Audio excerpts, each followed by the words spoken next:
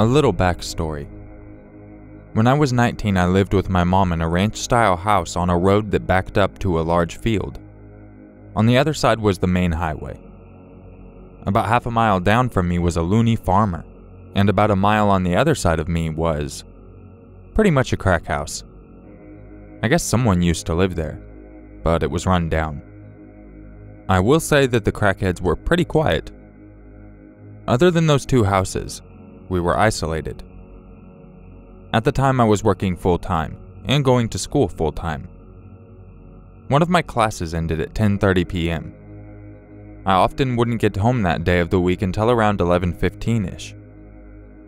I was driving home one night and I noticed some guy walking down the road.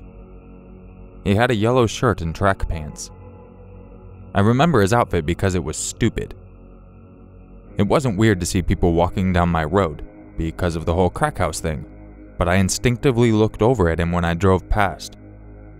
He turned and smiled, and waved, which freaked me the fuck out. So I sped the half mile home to pull into the driveway, weirded out. I made sure all the doors and windows were secure, and then sat on the couch to be a paranoid freak and wait to make sure the dude walked past my house. Except he didn't. And there was another guy with him, dressed in darker clothes. They actually walked up my driveway and started playing around with my car testing the handles and stuff. In my hurry, I had forgotten to grab my phone from my car, so I was kind of worried that's what they were after, until the guy in yellow started approaching my door. I'm freaking out, so I go and wake up my mom. She's bleary, and I'm trying to explain the situation when we both hear the doorknob turn very slowly. Good thing it was a deadbolt. She got out of bed, walked to the door, and then Yellow Shirt knocked. I perched up on the couch so I could get a good look at him and his friend, still in the driveway. The porch light was on because of the sensor. Yeah? My mom said. You dropped your wallet. I told my mom I had my wallet. It was in my purse. So she calmly told him that she had her wallet, and it was too late to be knocking on people's doors. I remember perfectly what he said next, even though this was about six years ago. Okay, I'm not a bad guy, just so you know. We were all pretty still. No one moved, not even the guy at the door, not even when the porch light went off. Then he tried the handle again. My mom told me to call the cops so she could go get her gun, and I told her I didn't have my phone so she went to the kitchen to grab hers from the charger. She handed me the phone and walked to the bathroom and stared out the window into the backyard. Then she went to her room to grab her Ruger. I was talking to the cops and explaining the situation, all while watching the two guys, explaining that there were two suspicious guys at our door, when my mom came back and said, One in our backyard, too. Which explained why she looked out the bathroom window. She glimpsed him from the kitchen and went to get a more discreet look. My mom walked back over to the door with her gun and loudly said, If he tries the handle again, I'm just going to open the door and shoot him. Fuck knows why she said that instead of waiting for the cops to arrive, but the guys took off down the road. I told her, and she rushed to the bathroom, where the guy apparently in the backyard saw his friends running down the road and sprinted off too. They were going in the direction of the crack house. The cops searched our house and our yard, then went to the drug house, where they found five dudes hanging around. One was the yellow shirt guy, and I'm assuming his friends were with him. They did get arrested, and nothing weird like that ever happened again. But I was on edge for a while. I still make sure the doors are locked at all times every day, even though I live in a much nicer area now. Anyway, Sorry it was a bit anticlimactic. The dudes got caught.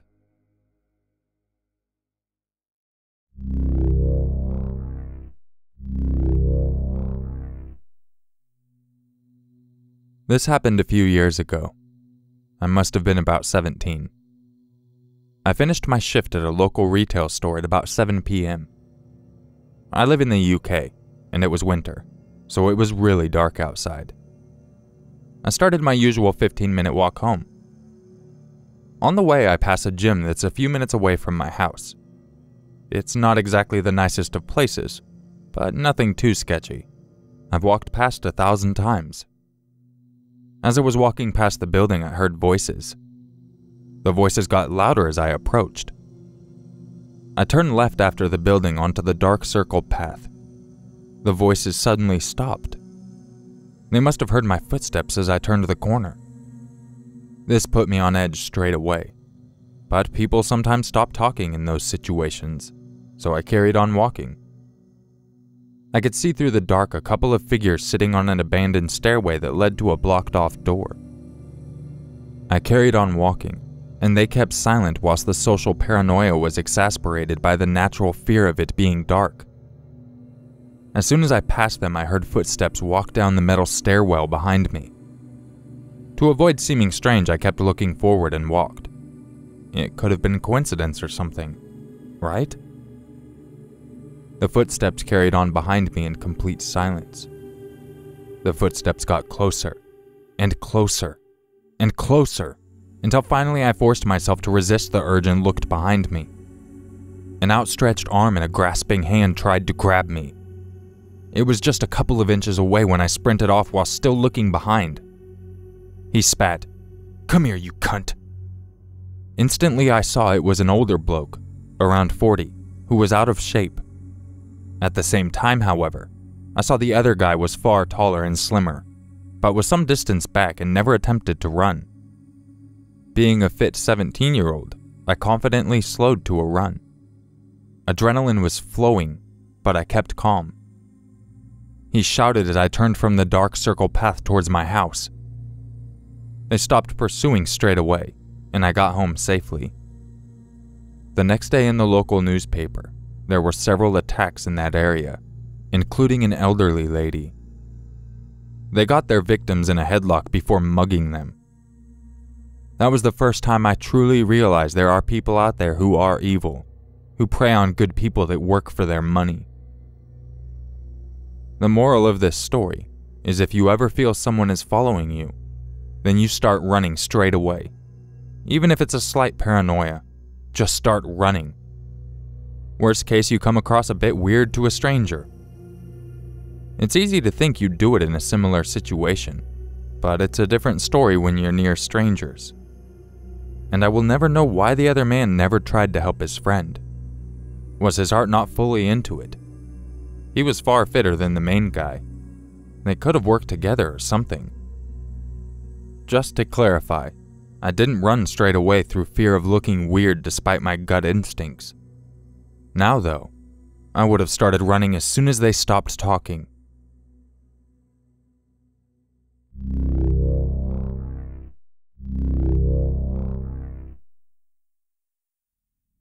This isn't as dramatic as some of the other stories here, but it scared the shit out of me. I'm a woman in my early 20s, and I live in a flat with a male friend of the same age. Our flat is on the top floor, with our kitchen window above the door. We have all our windows open at the moment because we smoke, plus, it's summer and hot all the time. There's usually at least one of us home at all times, as I work 9 to 5 and he works nights, so the open window thing isn't a problem. A few weeks ago, my flatmate went away for a few days, so that day he happened to close the window in the kitchen. It's maybe the first time it's been closed in the six months we've lived here. That night, I came home drunk and was on the sofa messing around with my phone when I guess I fell asleep. The living room is connected to the kitchen. Around an hour later, maybe 2 a.m., I'm woken up by a weird scratching noise in the kitchen. I now realize it was someone clawing at the window that they expected to be open, but at the time I was still wasted. I got up and turned on the light to go to the bathroom, and the scratching stops. I go to the bathroom, not thinking about the noise that woke me up, when I heard a louder scratching noise, much more guttural. I go back to the kitchen and look out the window, and there's someone on the road dragging a big stepladder away. Again, didn't really think about it. The next day, I look out my kitchen window and see this directly under it. It's a board to safely stand on surfaces that might bust easily, like a fragile roof thing over a front door. It looks like there's a CCTV camera there, but it's only a shell, and it's quite obviously not working from the front. I called the landlord to ask if there was any work happening to the house that we weren't informed about. Nope, nothing. I have no idea if the person tried to break in again, but I only thought to share this as my flatmate went away two days ago, and at some point today the board outside the window disappeared.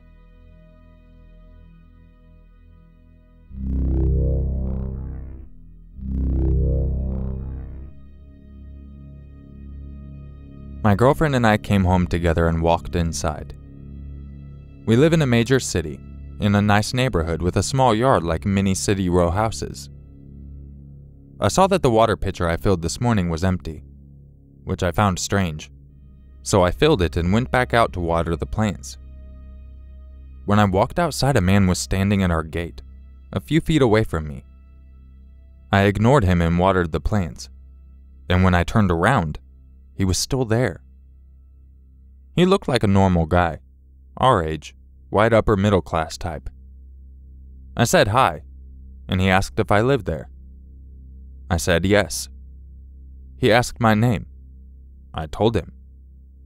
He stood silent. I asked if he lived here. He said, somewhere around here. I watered the other plants. He asked how long I'd lived here. I said a few years. He asks how long exactly. I found it unsettling and told him I didn't keep count. He asked where I was from originally, and I said West Virginia. He stood silent. I made a deliverance joke he didn't get. He asked where my girlfriend was from. She was inside. That meant he had watched us come inside and had been there since we were home. I said it was nice to meet him and offered my hand to shake his. He said his name was James. I went back inside. I told her how weird it was, and before I could explain, he was pounding at the door saying my name. I came out and unlocked the first two doors. I asked what he needed. He wanted to come inside. He said someone hired him and he knew everything about us. He repeated a few times that he couldn't talk outside and needed to come in. I told him no. He eventually said someone was watching him, and he couldn't tell me what he wanted, but he could give me a general idea. He offered to empty his pockets, which he did headphones, lighter, and a cigarette pack. He acted as if he had something urgent to tell us, and he couldn't talk about it. I asked him to get to the point. He told me something about a revolution. I told him I had to go. He asked what I needed to do. I said, life stuff. I closed the door. He walked back to the street. I could see out the window that he was looking in, and another man approached him. They were talking about us, saying my name for several minutes. A neighbor came down to do laundry I told her to lock the door. She said that they creeped her out because they were talking until she walked up and were silent. We called the cops. They took minutes to get here, and the two men left seconds before their cars arrived. The police could not find them. I have the security footage of the guy if you'd like to check it out. The audio isn't the best, and it records 15 seconds of video based on movement and sound. I purchased it because our mail was being stolen a few years ago. Feel free to click the links to go check out the full video. There will be links in the description.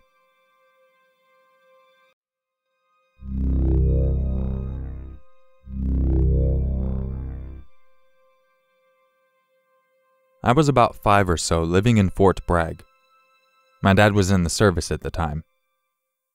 We lived in a tiny apartment and had a bit of a wacky older neighbor who was a weird guy. But up until this point, he hadn't done anything astonishingly bizarre. He was a drinker and a lonely old man. I have a younger sister, and both of us were down for a nap, and my dad was sleeping as well. And my mom was getting ready for her night shift at a Walmart at the time, She hears yelling in the apartment next door and assumes it's the older guy having a PTSD episode, which happened on occasion. She hears a gunshot and is becoming increasingly concerned when the front door swings open. Me and my sister are awake at this point, crying. She comes out and the guy is walking in, yelling about Vietnam, and is wielding a shotgun.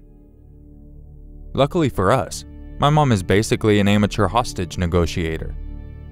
If there is one thing she's been great at my whole life, it's convincing crazy people to come down off their clock tower. She tells us to go into the bathroom and yells for my dad to wake up. My dad grabs his own rifle and starts dialing 911. At this point, my mom is calmly trying to talk this man down, asking what's going on. He starts rambling about enemies being after him. She agrees and offers to go help him look for the enemies who are after him. She's ushering him closer to the front door, and finally she asks if she can borrow the shotgun. The man pauses, thinking about it, then proceeds to hand her the shotgun. She goes outside with him and sits him down outside the door as they wait for the police. My dad has stashed the shotgun at this point, and we're watching this insanity go down. She's comforting him and making small talk when the police show up and take the man away for a mental health assessment. It turns out the guy had fired a shot into his own headboard during a flashback, and it escalated from there.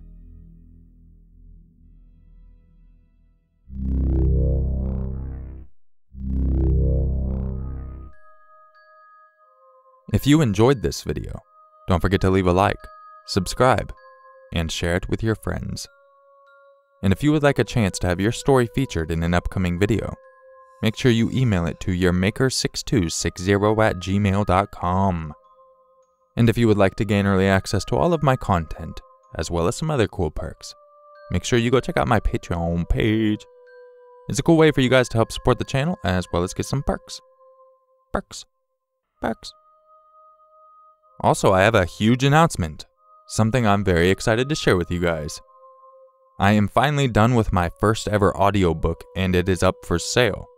That was the one I was working on with Eden Dance in the Dark by Chris Allen and Melody Ann.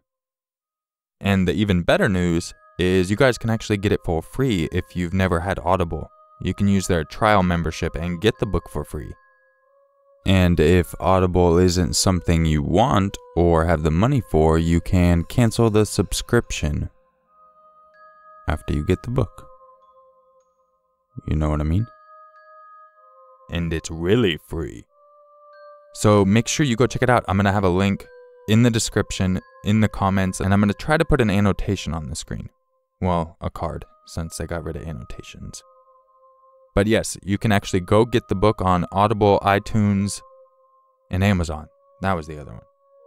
And if you go through Audible, like I said, they have the trial membership where you get a book for free. And you can go ahead and get it for free and cancel the membership. Hey, it's free. There's no reason for you not to go get it if you want to check it out. It is adult themed. I do want to say that. It's about three hours of content for you to enjoy. For free. If you enjoy it, make sure you leave a review. Please. I am going to go ahead and include about a 5 minute exclusive preview. And afterwards, go get the full version. Or else. Are you sure you want to hear my story? This is something I've held on to for a very long time. It's a memory that refuses to let go and it's been my burden to bear. I told her, shifting the slightest bit to portray discomfort. She'd never know it was an act. I could read her, but there was no way for her to read me. Today, Janice was wearing a black skirt and a fitted green blouse. My eyes raked slowly over her, from the top of her shiny hair to the soles of her respectable two inch heels, before drawing upward again resting for only a moment on the creamy softness of the bit of thigh she was revealing. Janice shifted in her seat again, and I fought back a smile. I was well aware of when a woman wanted me, even if she didn't want to feel the strong desire. There was a certain change in the air, a spark in a woman's eyes, a hitch in her breath, and a stirring in her body that she couldn't stop. Yes, this woman, who had to barely be out of psych school, was completely in over her head. If she had been too easy to break, I wouldn't have been interested. But I also didn't want to spend a year on the task. I didn't have to. I could have her beneath me by the end of this session if I truly wanted to. But what fun would that be?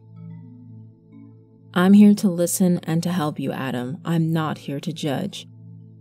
Please continue your story. She replied softly. I paused a moment longer as I shifted my head and looked down.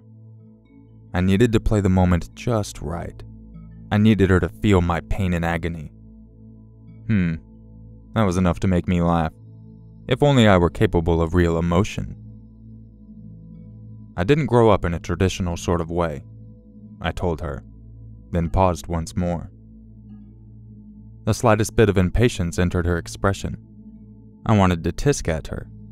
She'd have to learn to hide her emotions better if she wanted to stay in this job. Not that it would matter by the time I was done. I smiled again. Please go on, she said, her composure firmly back in place. I began the story. I first experienced death at the age of 12. Something inside of me forever shifted on that day. What I didn't realize then was things had already been changing. This just helped push it over the edge. How was that? she asked when I took too long to continue. I was doing what most boys did at that age riding my bike to meet some friends so we could head over to the river. Of course, I was a bit behind schedule, but at that age, time didn't really mean anything. Not to mention, my deadbeat mother never cared where I was or when I'd be home, so I was pretty much on my own every day. You had a harsh relationship with your mom? Oh, yes. She wanted to talk about mommy issues. How typical of her. I was almost disappointed in her predictability. That's not the point of this story, I informed her, and she seemed to shrink away at my tone. Good. Things certainly changed a lot for me at the age of 6 to 12, that's for sure. There's so much to say about why they changed, but I'm not quite ready to explain what happened. Not yet, at least.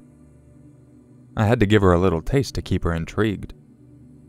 But right now, we need to get back to me cruising along the back roads without a care in the world. I was on my way to Joe's house, and I had to pass Miller's Pond to get there. That was a spot my friends and I'd go late at night to take a dip or drink a few beers we'd stolen from our parents' fridges.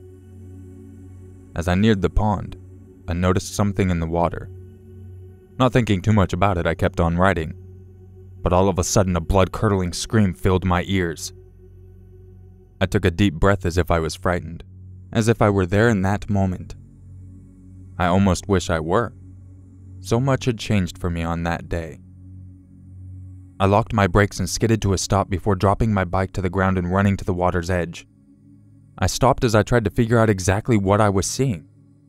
It couldn't possibly be real, right? No, there was no chance of that. A young girl no more than five or six years old was thrashing and screaming from deep in the water, obviously struggling to stay afloat. But that wasn't the most shocking thing going on. I stopped as if it was too painful for me to continue.